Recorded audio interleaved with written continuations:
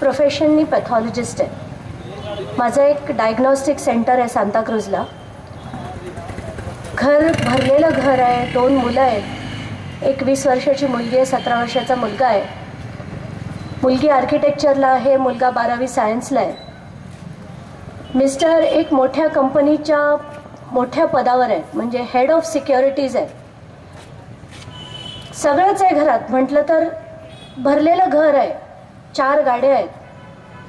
मग असं काय झालं की मी आज ह्या आंदोलनात आले? खूप वर्षांपासून म्हणजे मी अगदी लहान असल्यापासून मला नेहमी अशी चीड असायची या राजकारणी लोकांबद्दल.